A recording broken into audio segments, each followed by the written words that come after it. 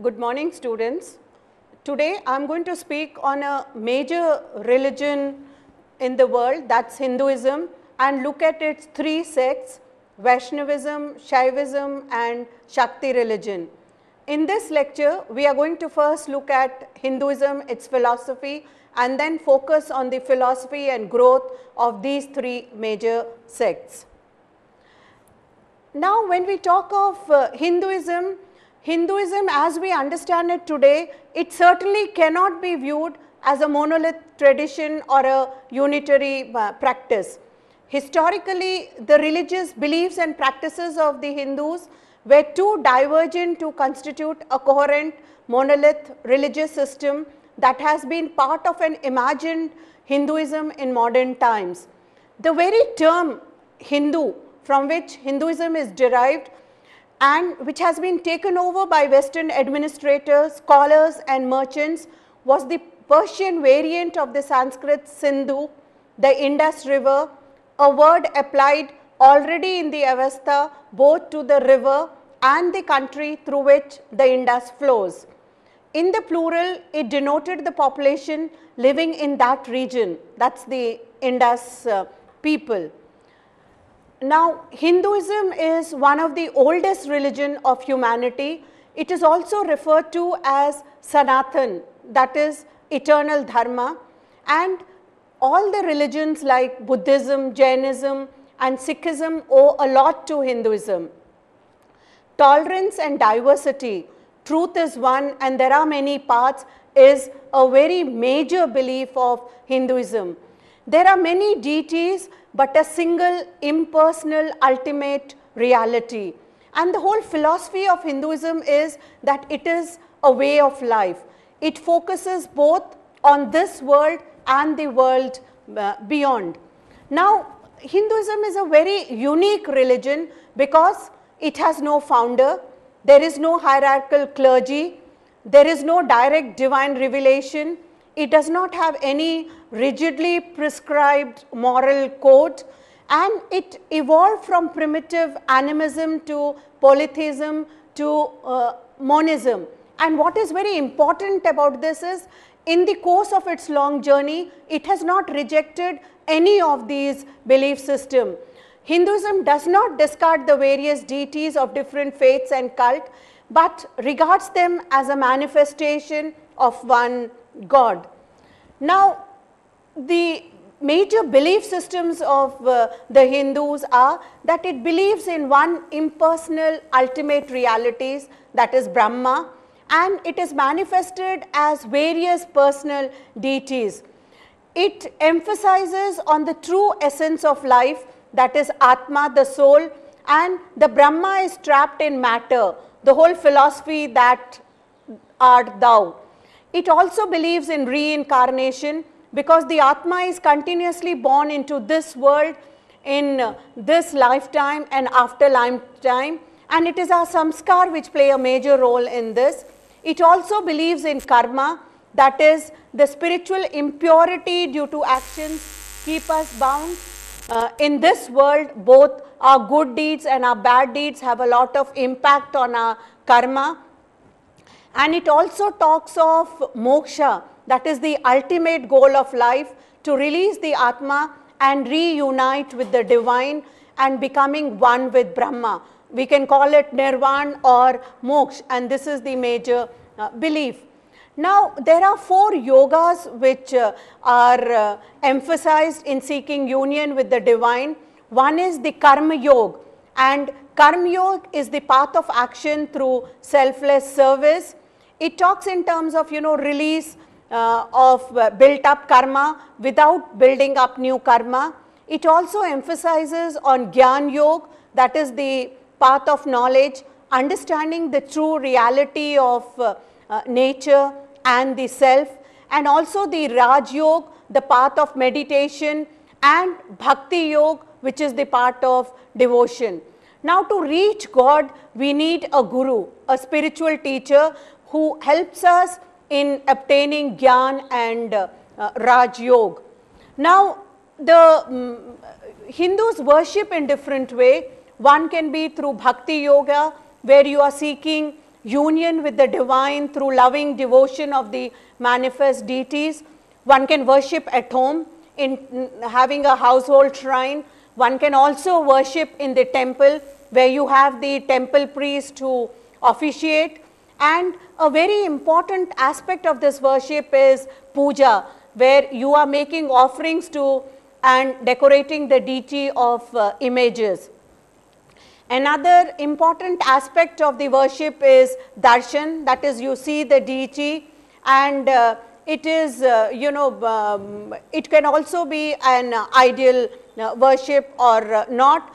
And there is also the concept of prasad that is taking the divine within uh, your own being through eating food shared with the deity.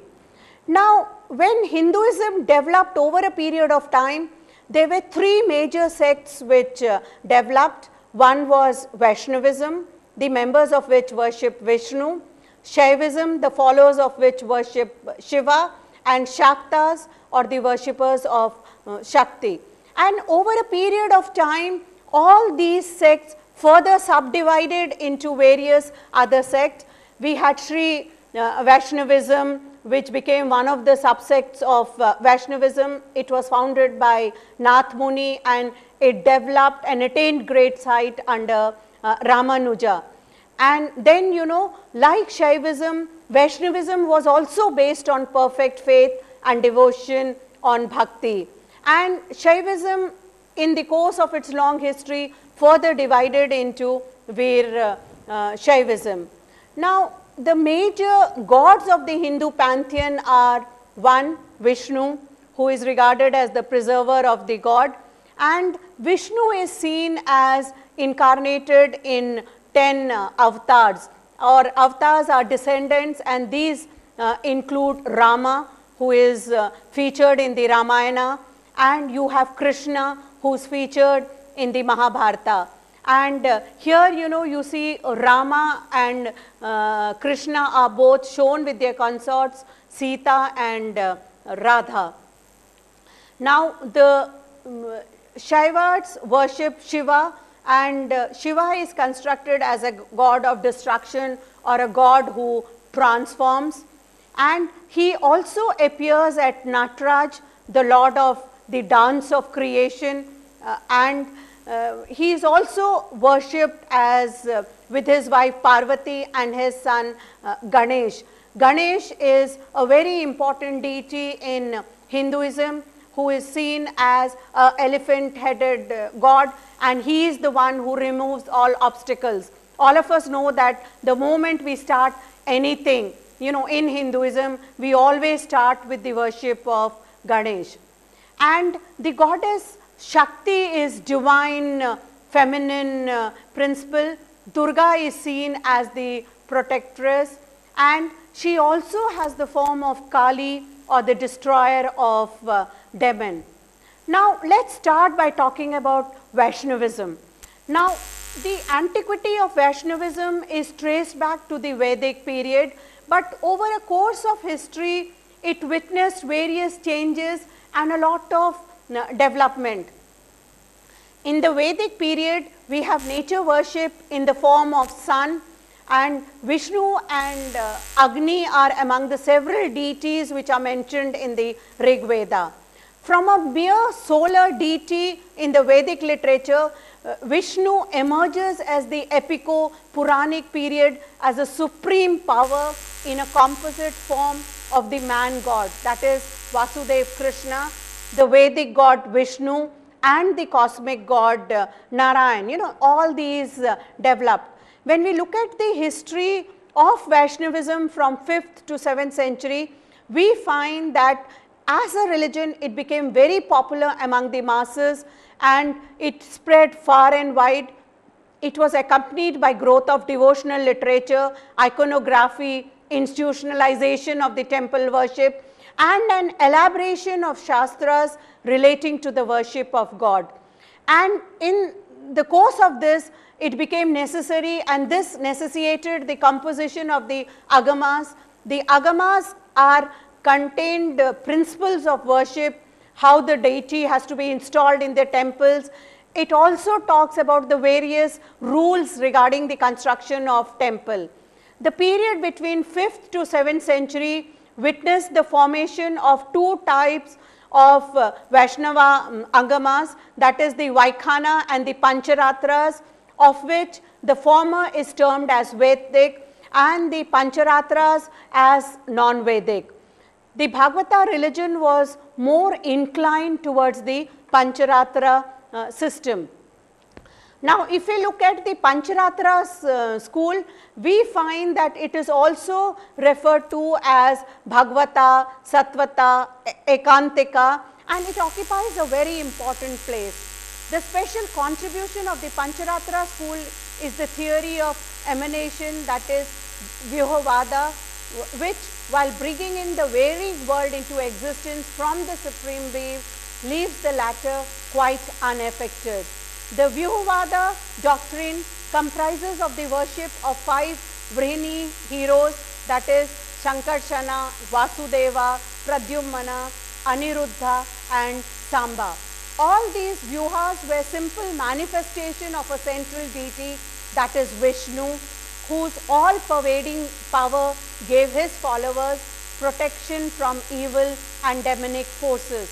To this were added the concept of Avatar Vada where Vishnu is worshipped in various forms and 10 forms were recognized as avatars. By the age of Guptas, Buddha also became identified with Narayana and he was worshipped as one of the 10 avatars.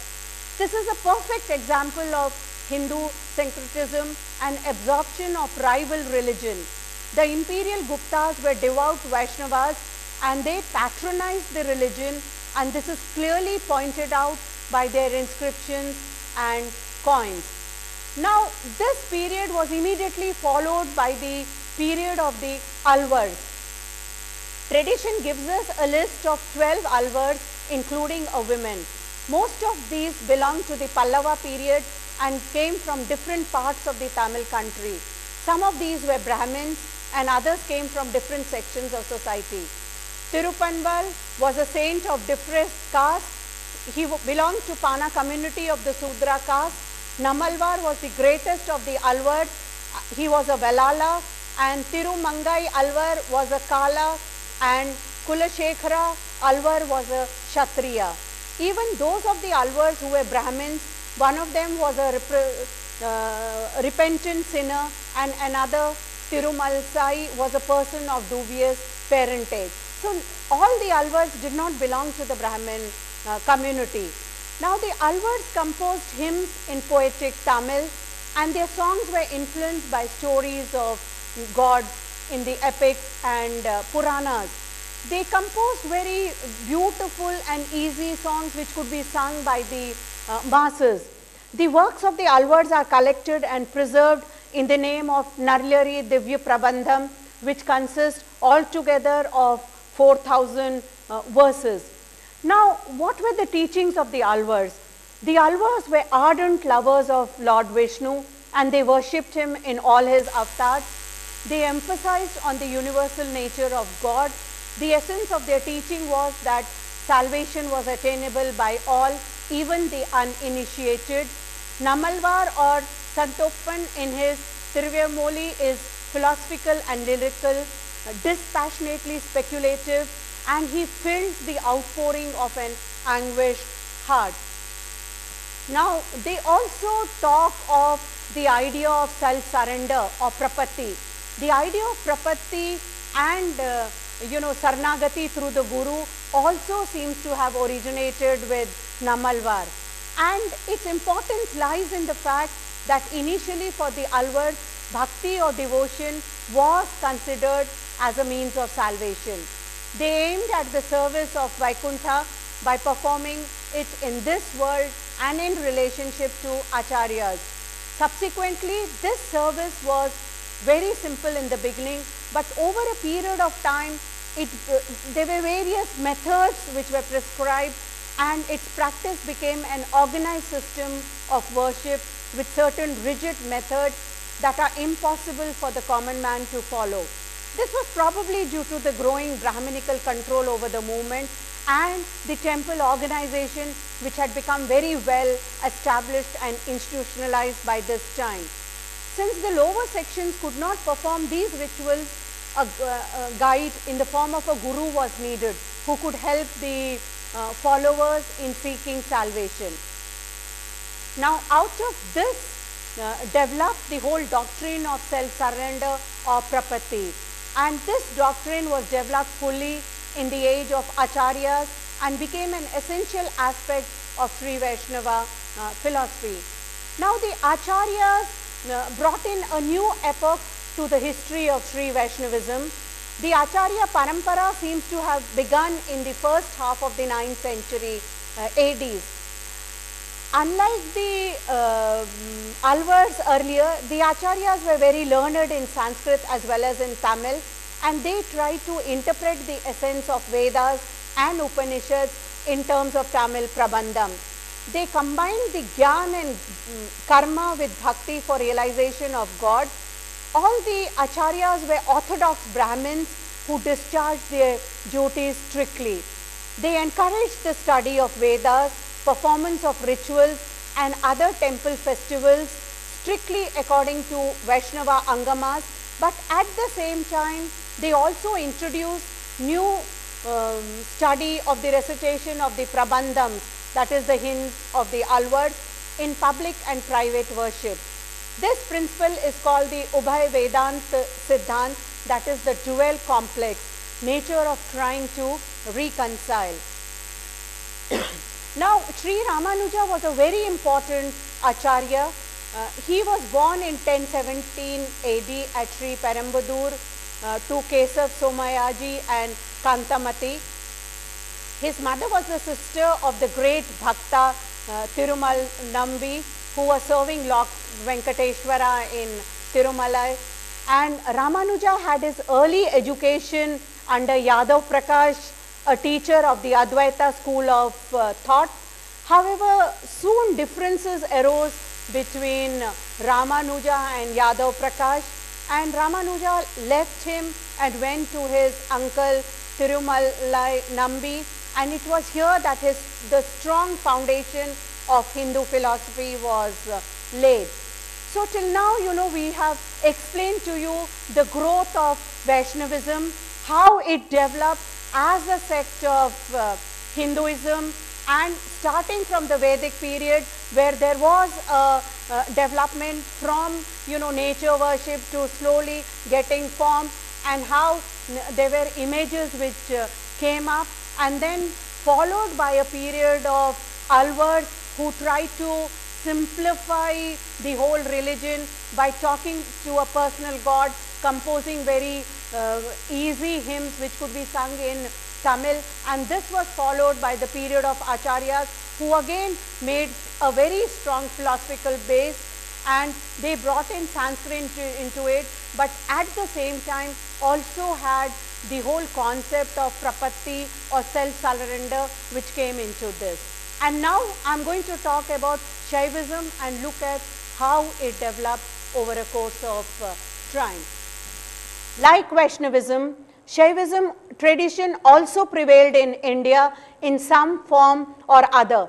In fact, many of the excavations which we have had in the Indus Valley civilization point out to the worship of Shiva by Indus Valley.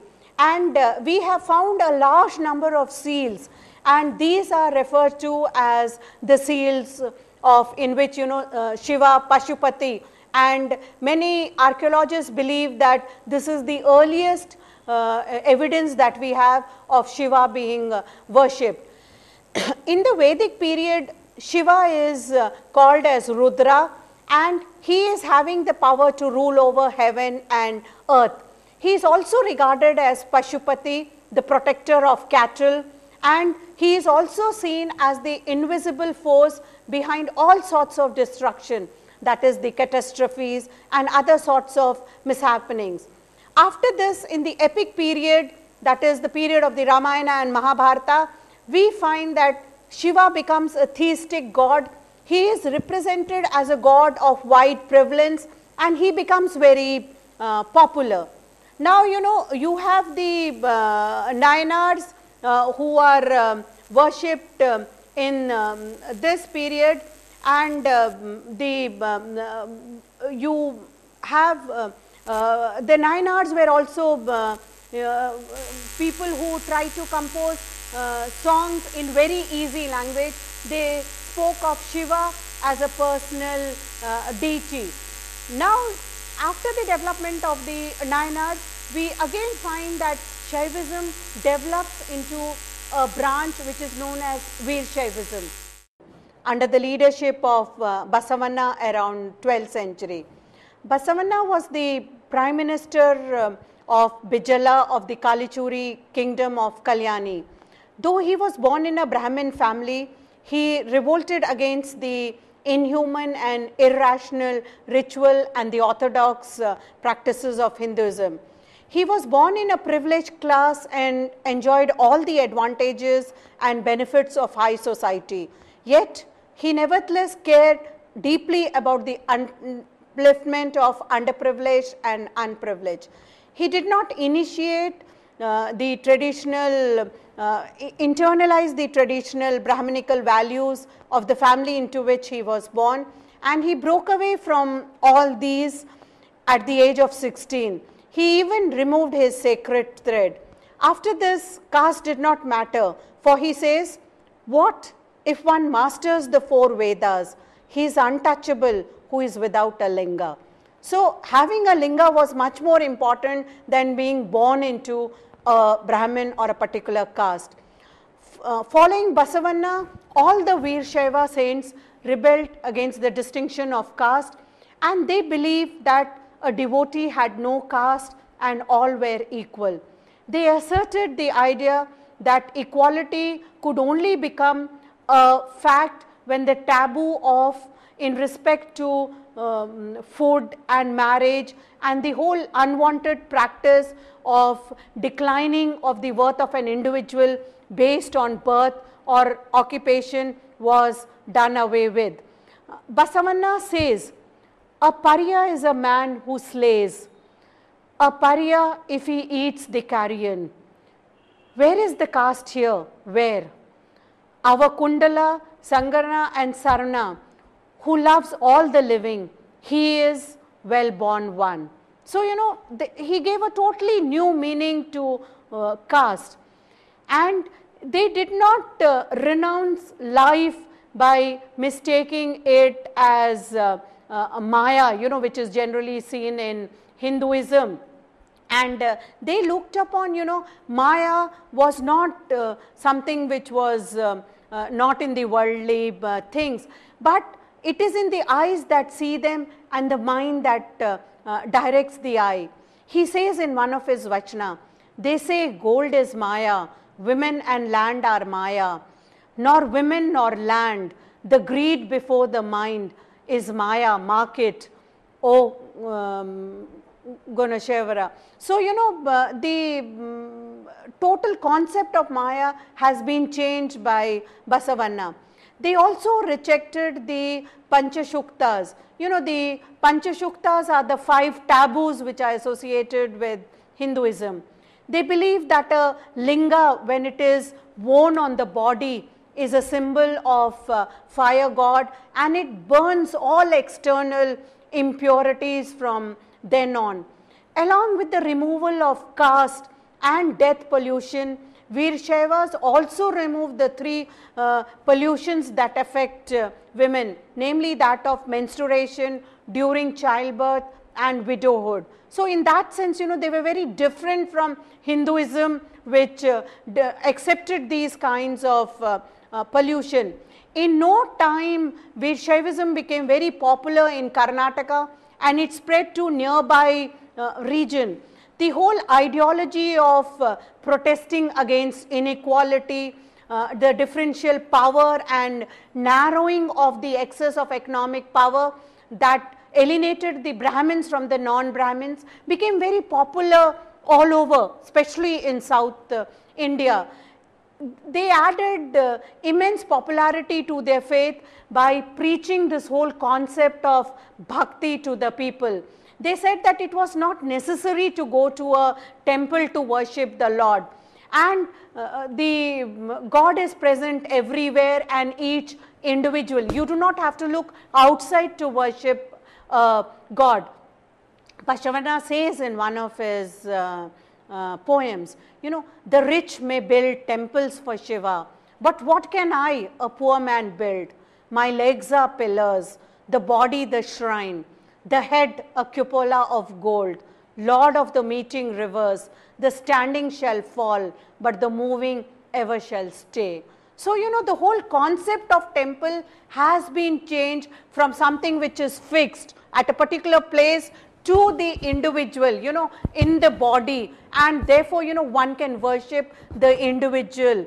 And he also talks in terms of, you know, uh, the whole movement uh, close the shutters to the elaborate uh, ceremonies and the excessive ritualism which had become a part of Hindu religion. See when you are doing away with the temple, so naturally you don't need the priests who are required to officiate in the temples. It is the body which becomes the uh, temple and uh, Basavanna is very sarcastic, you know, because by this time the Brahmins and the Hindus had made so many gods that it becomes very difficult to uh, worship them. You know, in a very interesting poem, he speaks, you know, very sarcastically, he says, the pot is a god, the winnowing fan is a god, the stone in the street is a god, the comb is a god, the bowstring is a god, the bushes is a god, and the spout cup is a god. Gods, gods, there are so many gods, there is no place left for a foot. You know, so we had so many gods in Hinduism that it becomes very difficult to really, uh, you know, even move about. So they did away with this whole concept of, you know, having too many gods, having too many uh, rituals and having a temple. You know, an individual herself or himself can worship God. And we find that by 12th century, Veershaivism uh, began to gain currency in Karnataka as a alternative to Brahmanism. It had a large Shudra following. Uh, uh, uh Machaya, a washerman, Shivangi Maya, uh, an untouchable, even refused to observe caste pollution. Madhavaya, a Brahmin, and Harlaya, a Harijan, decided to perform intercaste marriage between their children. But the orthodox lobby brought a great pressure uh, and succumbing to the pressure, Bijala ordered the blinding and execution of these two men who uh, deemed to break uh, caste uh, taboos. You know, this event happened in 1167. There was such a strong hold of orthodoxy at that time and we find that it led to grim reprisals and uh, um, you know the three uh, Veer Shaivite followers like uh, Molla, Bommanna and Jagdeva, they murdered Bijala. It had a very violent uh, end. Following this, thousands of Lingayats were butchered and the survivors scattered in different direction. The Veer movement moved into different uh, uh, regions. So, you know the whole Lingayat movement was born in a context of a divided and uh, exploited society and in order to challenge it in the name of uh, equality, individual freedom and uh, communitarian commitment. However, you know the life of this movement was very short uh, lived. In Karnataka, the support of the urban moneyed class particularly was very relevant to the Veer Shaivas because, who rejected the public worship of uh, images and uh, uh, they were uh, also you know discouraged uh, by um, the large scale employment of professional religious uh, priests. The absence of land grants to the Veershaiva monks who also suggested their great dependence on moneyed uh, elite. And we find that if you look at it, you know, even today in the 1980s, most of the Lingayats come from the three commercial districts of Karnataka that is Dharwad, Bijapur and uh, Belgaum and they comprise of nearly 40 to 50 percent of the uh, population and uh, they were the ones who really questioned the whole Brahmanical social order and the rigid uh, caste distinction in uh, society. But over a period of time we find that uh, the whole system developed you know all the uh, um, it, which it had opposed, you know, it developed all the features of the same system which it had opposed uh, earlier. And uh, we find that um, the uh, Veer Shaivism of uh, Basveshwara was certainly not the same Veer Shaivism which followed the period after uh, Basveshwara. It had lost most of its vitality, flexibility, vigor and revolutionary uh, zeal. the, the classification of um, Veer Shaiva sects into Samanya, Vishesh and Nirbhara also showed that the whole sect had uh, been divided on the basis of certain social precedents.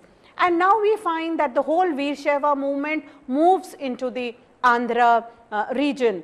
And this happened at a time when the Veershaiva movement had declined in Karnataka. And in Andhra also we do not come across the term Veershaiva earlier. And uh, we find that uh, uh, Mallikarjuna Pandita uses this term Veer Vrata and uh, Veer Maheshwara showing that uh, some kind of sect did exist in uh, Andhra.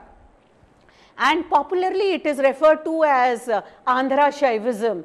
And we find that it was popularized here by the three uh, Pandita who was who are known as Pandita uh, Treya. That is Shripati Pandita, Mallikarjuna Pandita, uh, Shivalanka uh, Manchana Pandita and none of these uh, scholars received any kind of uh, royal patronage and therefore they were not able to command the kind of large following which uh, Basveshwara had in uh, uh, Karnataka. Shripati Pandita was a well known scholar and well versed in the Vedas, Upanishads and other sacred books of uh, Hinduism. He was a great devotee of Lord Shiva and he lived in uh, Vijayawada. He started Brahmanizing Shaivism and at the same time he tried to contract the influence of the Mimamsakas and Advaitas by upholding the principle of uh, bhakti. His line of thought culminated in Srikantacharya who wrote the Srikanta Bhasya openly declared that his system was uh, Shiva Vishesh Dvait and in Andhra Desha we still uh, find that there is, Ara, there is an Aradhya family which traces its lineage from Sripati uh, Pandita. Uh, Shivalanka Manchana Pandita was another great uh, devotee of Shiva who popularized this uh, sect. He belonged to the Pandita family in which his father Shambhu Bhatta and his grandfather uh, Shambhu Desika were highly educated and Pandits of highest uh, order. He was a contemporary of uh, uh, Basveshwara. The third Pandit was Mallikarjuna Pandita and he contributed a lot to the Aradhya sect. He was born in a Pandita family at uh, Draksharamam. He accepted the Vedic standards and rituals and introduced these into the Aradhya sect. Hence, this sect was very different from the Lingayat and the Basava tradition where there was no caste distinction and Vedic rituals. Many Brahmins joined this new reformed uh, uh, Veer Shaivism in Andhra and the Vedic traditions gained a strong hold in the Veer Shaiva movement. Uh, Mallikarjuna Pandita states in his Shivatattva Saram, O Lord Shivam, make it possible to release the people from this earth bound for salvations through offering and prayers in the path of the Vedas. So though they were revolting, you know, they continued to follow the Vedic rituals, the Vedic scriptures and they even modified the religion based on Vedas. It is said that Mallikarjuna sowed the seeds of Veer Shaivism and Palkuri Somnatha developed it to a great extent. Palkuri Somnatha was born in Palkuri in Varangal. Though he was a strong advocate of Veer Shaivism, he tried to follow a middle path. His reverence and affection towards Mallikarjuna Pandita made him write Pandita Radhya Charitra and he criticized the worship of different gods by Brahmin by saying, it is proper and accepted to pray and worship. Is it proper to worship uh, and pray lesser gods and goddesses while Sarveshwara is there? So, you know, again he wanted to focus on the worship of one single God that is Shiva. He also attempted to bring into his fold a large number of untouchables. And he says, you know, it cannot be tolerated and justified to keep the Shudras aloof. What dharma and what morality and which Puran support this? Yet in spite of his zeal to bring about a social change, we find that the Veershaiva sect did not make much headway in Andhra. The influence of the sect was very limited, more in the Telangana region from uh, the time of under the rule of western Chalukyas to the later Rashtrakutas. It is in this region that we find various Veershaiva mutts which continue to exist till uh, today. And uh, there were a large number of Jain monasteries which were de destroyed and comparatively we find that uh, the number of Jain temples destroyed are much more in the Telangana region than in the Andhra uh, region. In spite of the Veershaivas objection to temple and uh, temple worship, a large number of Shaivite temples were built across uh, the region by kings, feudatories and a large number of individuals. And therefore, you know, unlike Karnataka, in Andhra this movement had a very limited uh, impact because most probably uh, had declined in uh, uh, Karnataka by this time. It was no longer a radical ideology with which it had started and it had become very divided and exclusive and this was the factors which continued into uh, Andhra.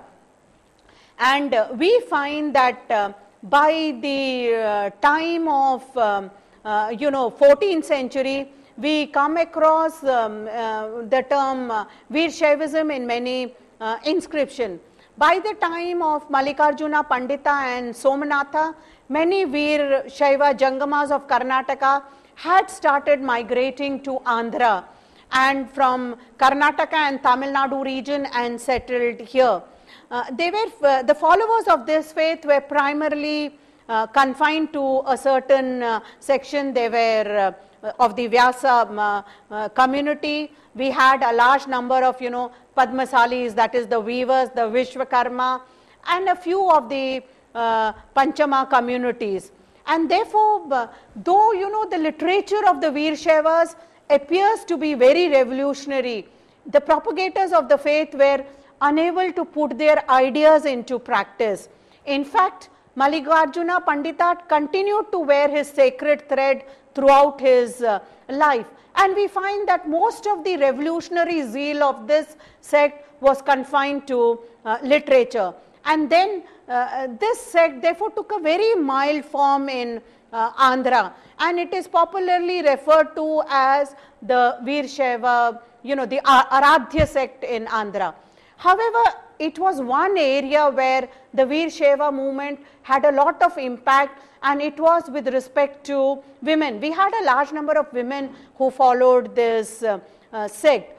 The Veer Shaiva movement had intended to bring about a change in society by questioning the whole Brahminical monopoly and these included women also. Indian society like a large number of society was very patriarchal and we find that many of these patriarchal values were expressed through specific cultural metaphors that regulated aspects of sexuality, reproduction, and social norms. There were elaborate rules prohibiting women from specific activities and denying them certain rights. And there were a, a more subtle expression of this was through symbolisms, giving messages of inferiority of women. And uh, we find that uh, from uh, 500 AD to 1200 AD, uh, there was a lot of deterioration in women's status where they were regarded as uh, uh, Shudras. And we find that they were not allowed to go through the Upanayan, Sanskara, recite the Vedas and the kind of, you know, um, most of the time their education was stopped and this was something, you know, which the Veershaivan uh, women totally did away with. And we find that women were given a lot of equality in the practice of uh, religion. There were a large number of saints who entered this uh, uh, sect And the Veershaiva movement accepted these women saints uh, without uh, any regard of, you know, that they were different from uh, men. And they strongly believe that the spiritual path is something which is open to both men and uh, uh, women. In fact, many of the Veer Shaiva saints refuse to recognize any distinction between men and women. Uh, Dasamai says at a place, you know, it's a very interesting uh, uh, Vachana which she is saying. Suppose you cut a tall bamboo into two, make the bottom piece a woman and the head piece a man, rub them together uh, till they kindle.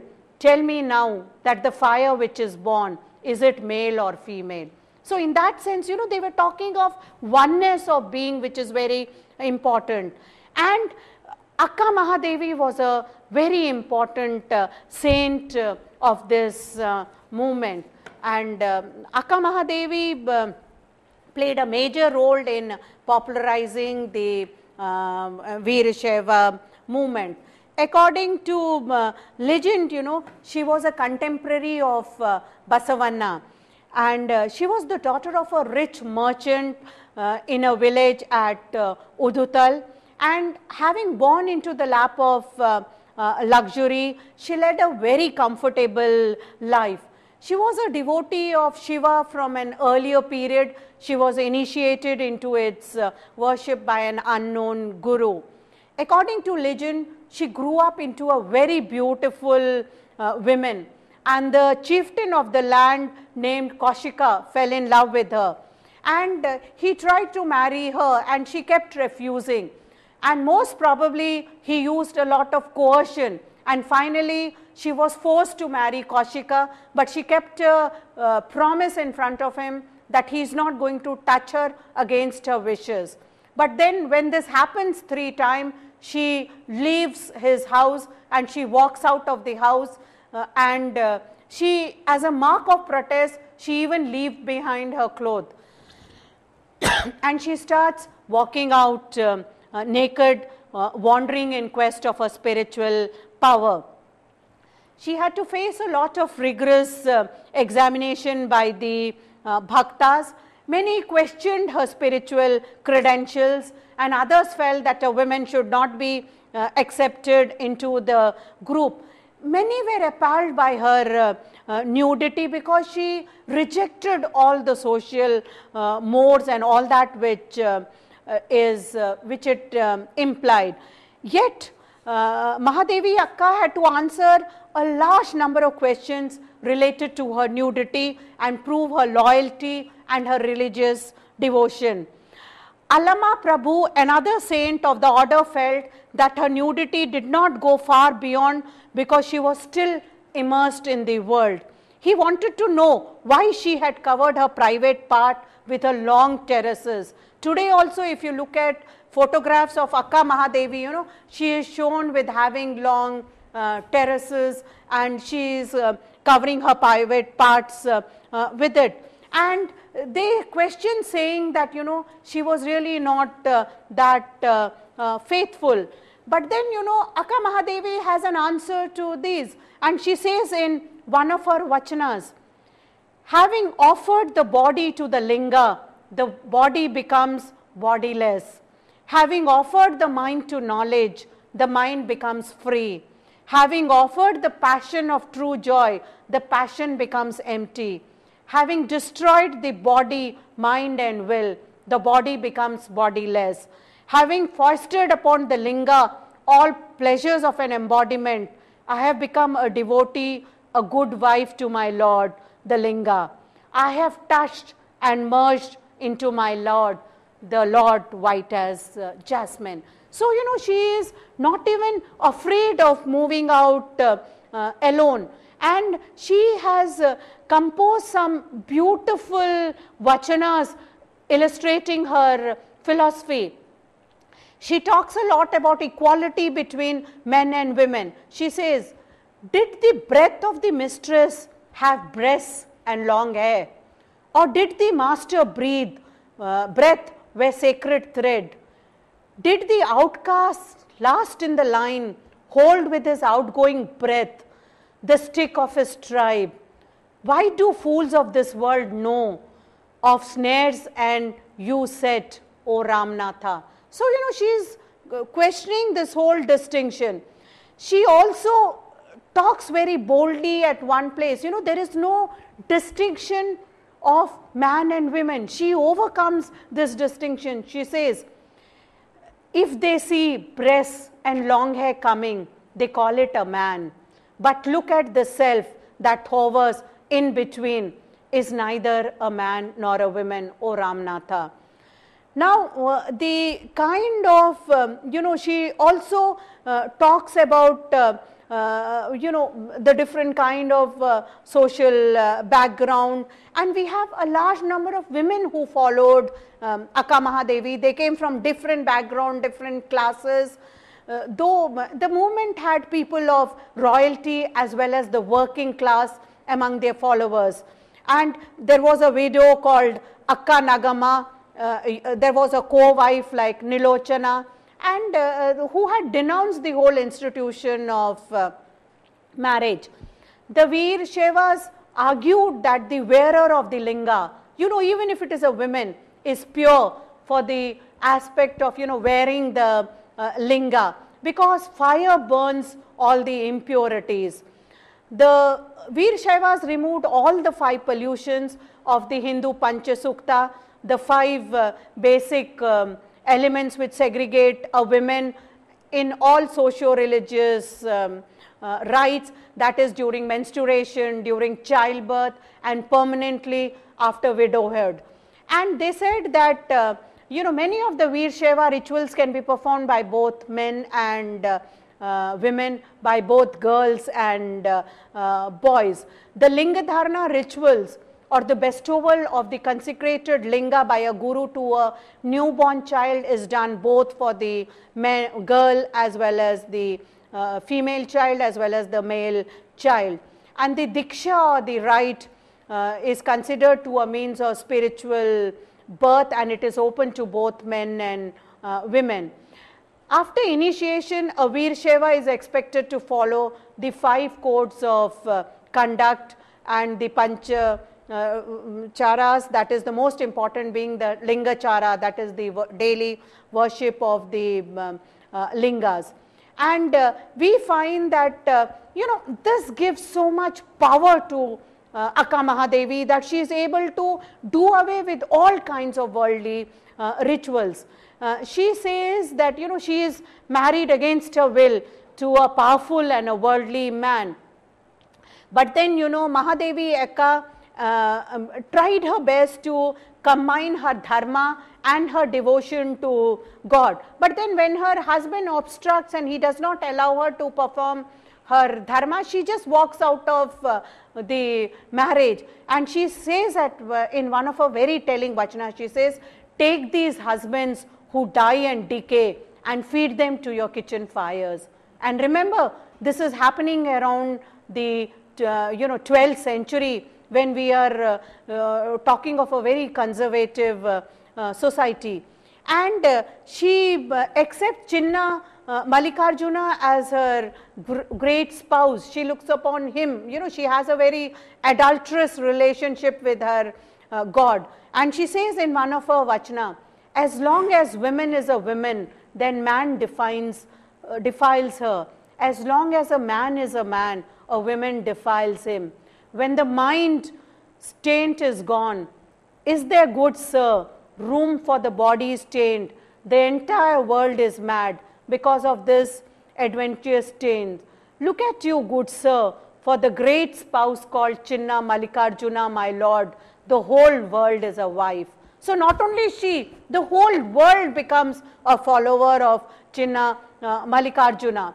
And uh, we find that uh, you know, she talks also in terms of her life in marriage and she uh, says in a very, you know, she talks in a very uh, outpouring uh, familial paradigm. She says, I have Maya for mother-in-law, the world for father-in-law, three brother-in-laws like tigers and the husband's thoughts are full of laughing women. No God this man and I cannot cross this sister-in-law, but I will give this venture slip and cuckold Hara my lord.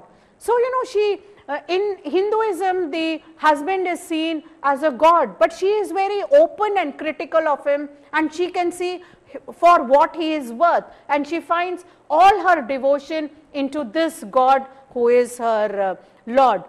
And uh, we have uh, again you know the same kind of thoughts are also echoed by Akka Nagamma who says Guru himself as parents, Linga as husband, the Jangamas as in-laws, Shiva Bhaktas are so many relatives, truth and rigid conduct are welcome guests in one's house. So, you know, they, they use the whole um, paradigm of family and they are using it to explain their uh, uh, bhakti.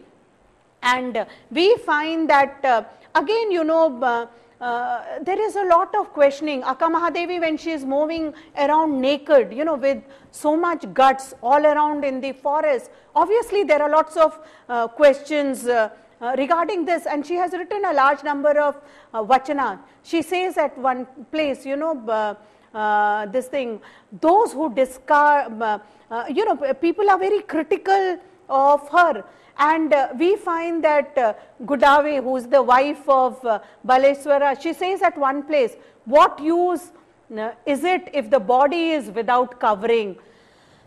it is the mind which should be without um, covering. At another saint, you know, Akkama, she says, those who discard clothes are children of donkeys.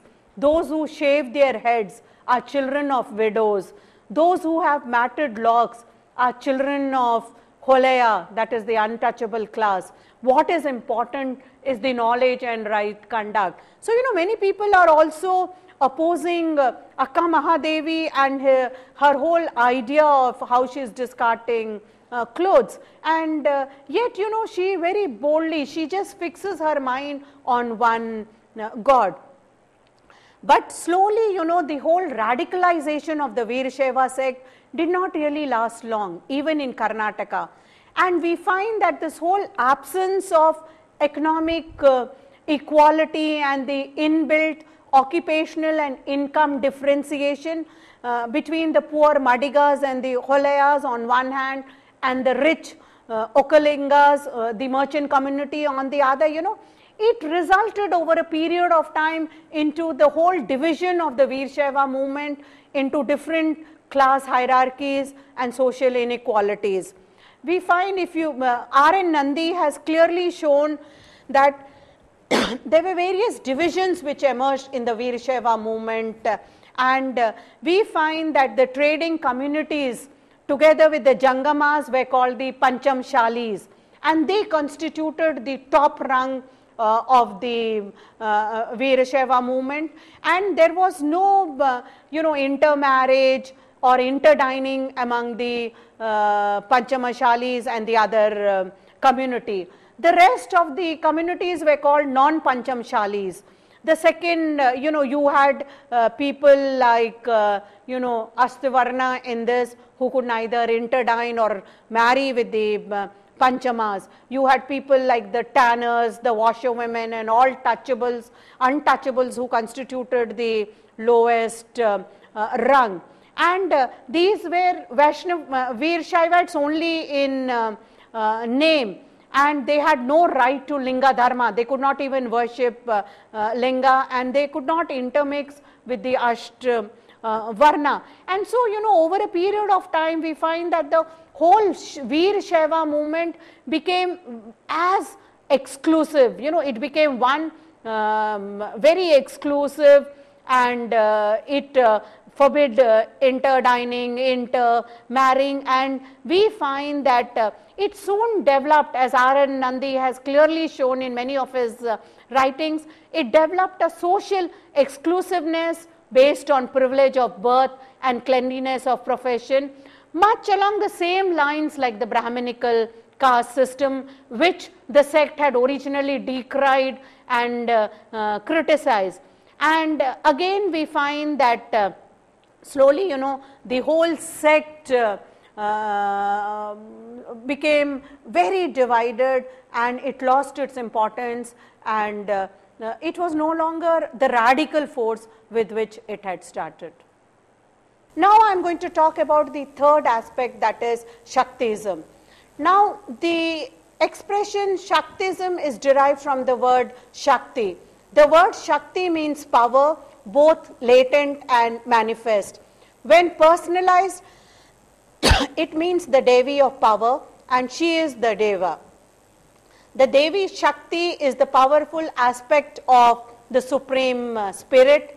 The doctrine and ritual of Shaktism are contained in a special branch of Holy Scriptures of India called the Tantra Shastra, which, is, which acknowledges the authority of the uh, Vedas.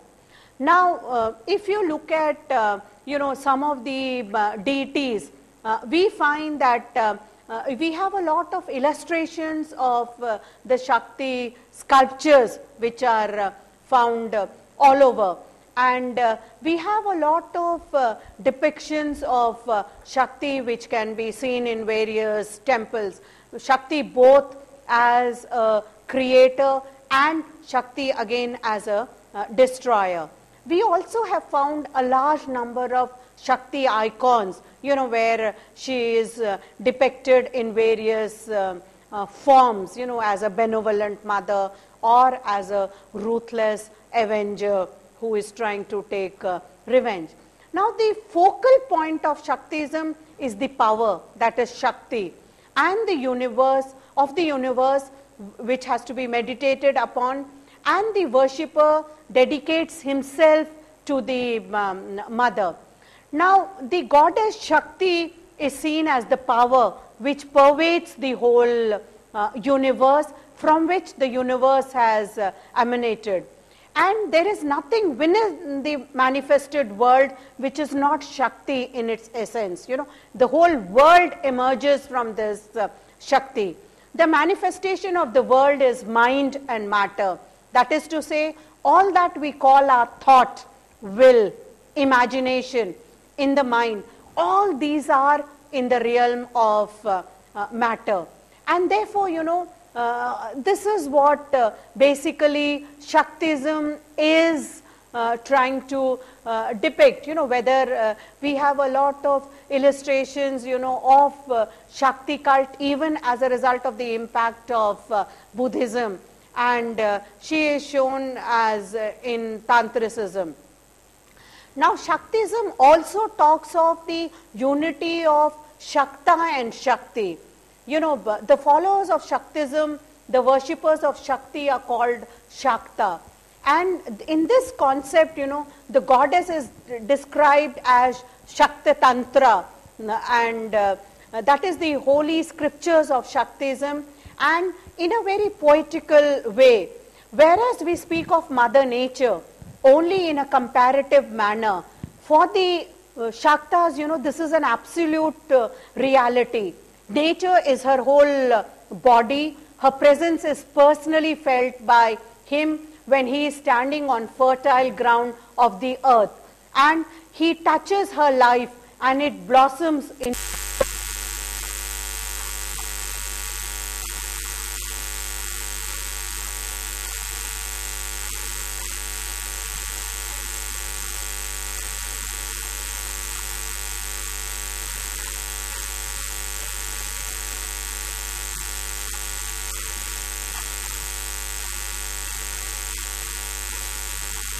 All different forms, he will find her light too within his mind and consciousness.